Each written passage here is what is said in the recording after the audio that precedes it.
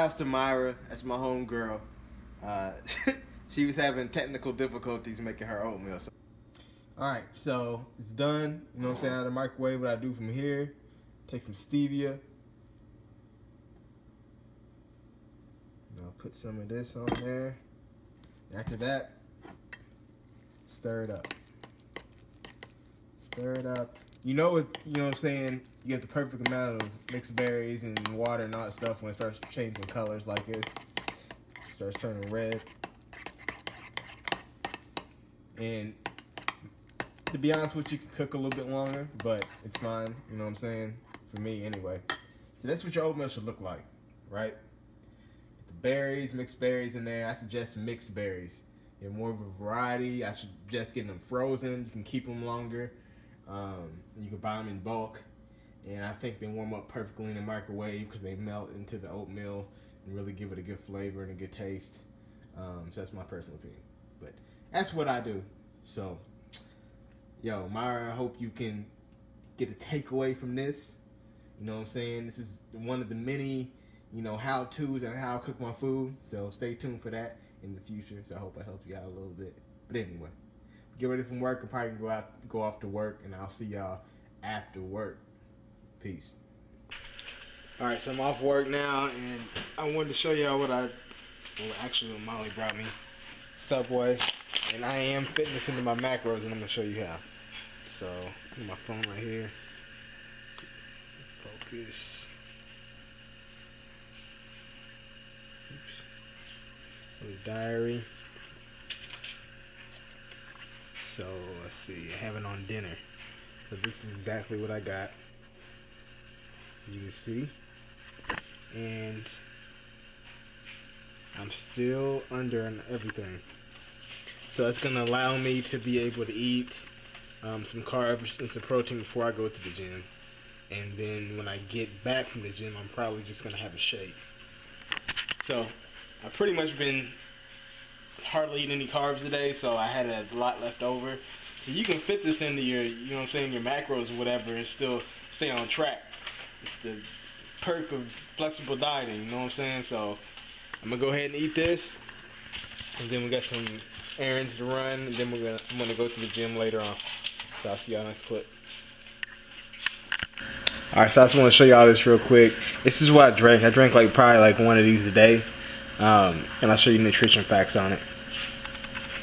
So it's two carbs, two grams of um, sugar per 17 ounces.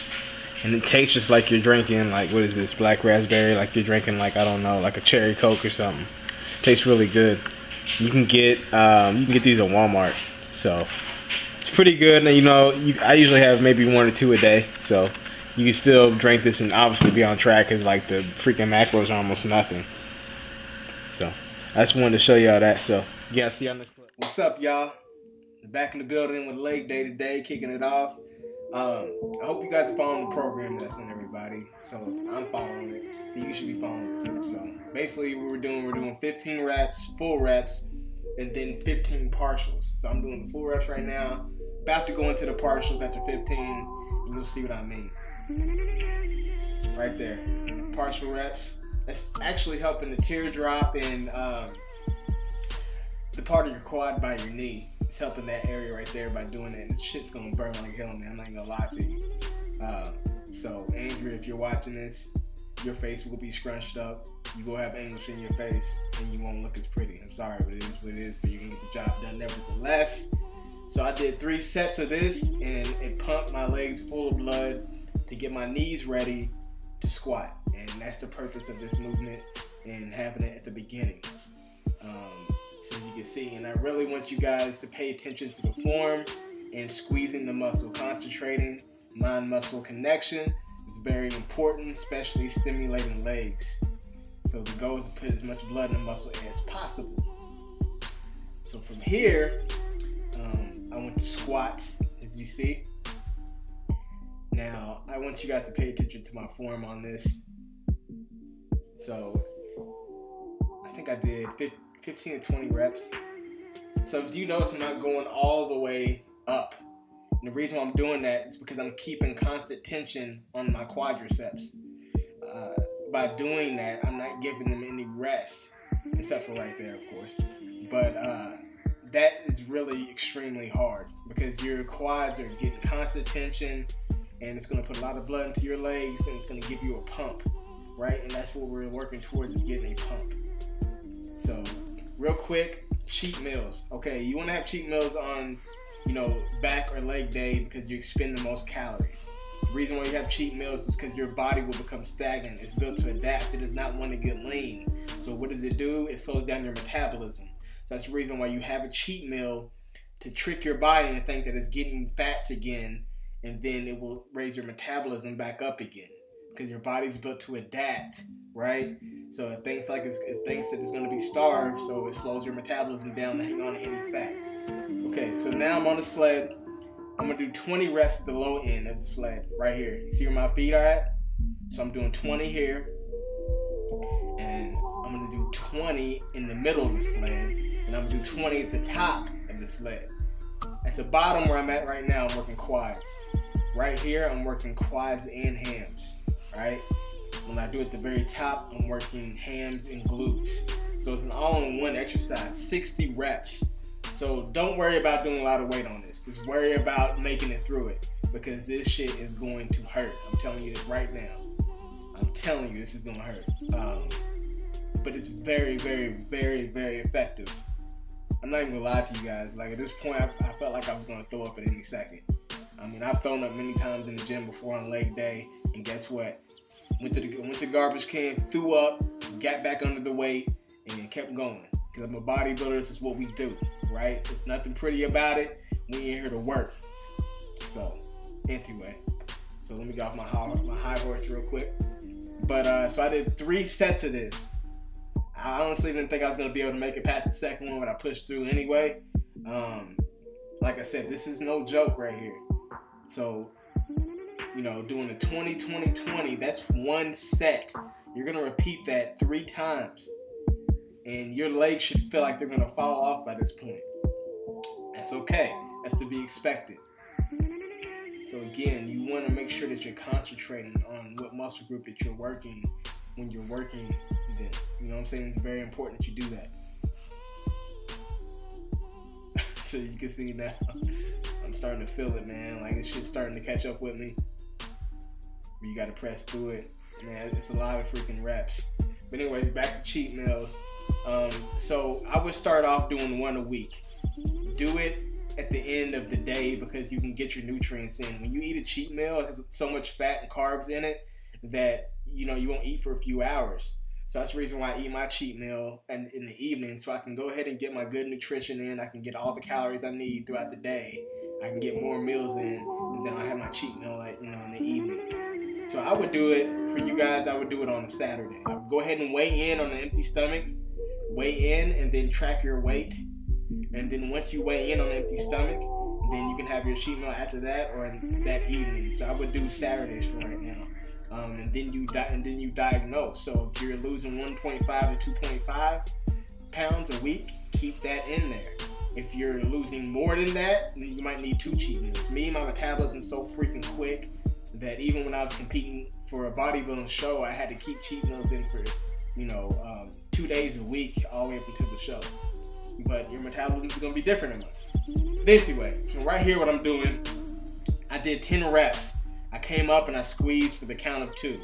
After those 10, I did 10 quick reps in the pocket. That's what you just saw. And I'm kind of going through a little bit of posing right here. Is what I'm doing. So my quads came a long way over the years. Came a long way, man. Those some of my classic physique poses I'm going through right there. So my wife's kind of miring right now. She's miring the gains. You know what I'm saying? But anyway, so I mean, you guys are you guys will be there soon enough. But this years and tears, boy, I tell you. So I'm back at it again. I did three sets of this, trying to get myself psyched up a little bit. So you know, as I'm coming up, squeeze, right? Coming up, squeeze. I do 10 of these, squeezing like this, squeeze. And then after those 10, I do 10 of them in the pocket, um, quick, consecutively. And I'm telling you right now, this is gonna be your breaking point. This is gonna separate, you know what I'm saying, the ones who are, you know what I'm saying, for real about this, or the ones who are just talking about it, not being about it. If you want your legs to grow, this is what it's gonna take. So I, I mean, right here, I mean, you'll see in a minute. But I'm gonna wrap this commentary up. Hope you guys enjoyed the leg day. Now go and get yours. Peace. You gonna make it? You gonna make it, boss?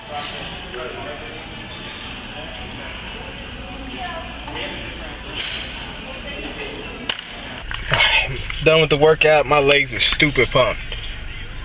Now y'all can see that or not. They are stupid freaking pumped. Oh my god, I ain't felt that way in a long time. But uh we on our way home now. God, I didn't think that shit was gonna end, man. I ain't felt like that in a long time. But uh it's good though, man. I needed it. So heading home. Maybe throw up. I don't know. Haven't figured it out yet. But uh I'll see y'all when we get there, man. Back home and I apologize for, you know, the clickbait, the title. I cheated, but whatever, it's clickbait and you know, only thing I'm saying about that. But listen, this is cheat meal part. It's not even really a cheat meal though. Halo Top ice cream. You can eat this, you know, while you're dieting. The macros are amazing. You see it? Bright's in the way. Focus. There we go. So you can peep those macros. That's for a half a cup. Yeah, for a whole pint, it would be what? So It says it on the front. does it? What's says calories? For the whole for a whole pint, you're looking at 28 grams of carbs total for this whole thing. Um, let's see, 10 grams of protein. Yeah. All right. So really quick, sorry for the clickbait, but anyway, cheat meal part two. It's not even a cheat meal though. Halo Top ice cream. You can eat this and stay on track. The macros are really good for this whole thing. Show them. For this whole thing, you're looking at 28 carbs. You're looking at 10 grams of protein, Focus. and you're looking at uh, four grams of fat for this whole entire container you can eat, right? And also this, like if you drink a lot of soda and stuff and you're craving that, um, you can drink this uh, Spark sparkling water. Comes flavored, tastes like drinking the Coke or something, and it literally only has two grams of um, carbohydrates per 17 ounces. Zero fat, only 10 grams of so 10 milligrams of sodium, and that's it. So you, I mean, this stuff you can get away with on your prep. You know what I'm saying? Like, again, you saw me eat the Subway earlier. I fed it into my macros. You just gotta be smart about it. You know what I'm saying? But anyway, oh, shout outs to Andrea. I'm posting the the picture of her squatting, looking like she's at a photo shoot and stuff like that, smiling and everything like that. You just saw, you know what I'm saying, the anguish in my face on my leg day, on our leg day, because it's written in the program. So if you're doing the program that I wrote right, you should have anguish in your face. You know what I'm saying? the shit's hard. It ain't no joke. But anyway, so um, again, if y'all have any questions, comment below. Like this video, man. Please like this video. Show your boys some support. If y'all local, holler at me. Like, we'll get a workout in. It'll be cool, man. All my local competitors, local followers, whatever, come, you know what I'm saying, come get a workout with me. But until next time, MCS out.